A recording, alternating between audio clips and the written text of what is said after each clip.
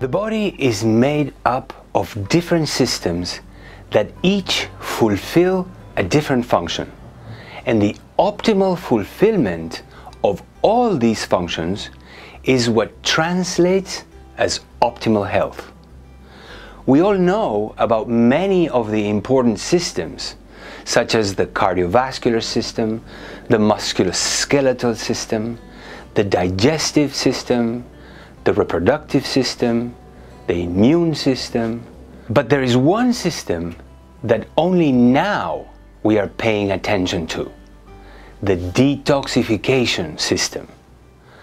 One of the reasons why this system is not in everybody's radar is because it is not even taught in medical school as a system.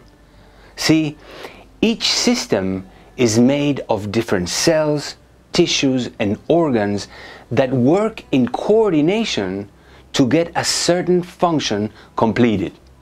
The function of detoxification is to transform toxic molecules, of which the grand majority are only lipophilic, meaning they only dissolve in fat, into non-toxic molecules that are water soluble.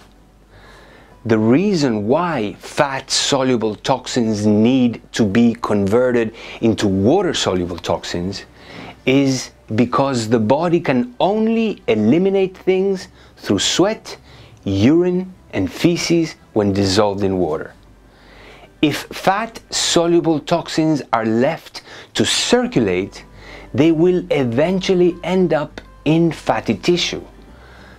Fatty tissue is in the brain, in the thyroid glands, other glands, the breasts, the uterus, the prostate, the liver, the omentum, which is a fatty apron right under your skin around the abdomen.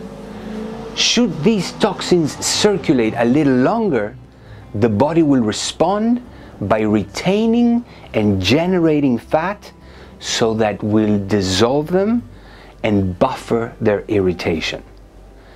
The detoxification system is in charge of biotransforming the inner toxins or endotoxins, which are the waste product of our metabolism.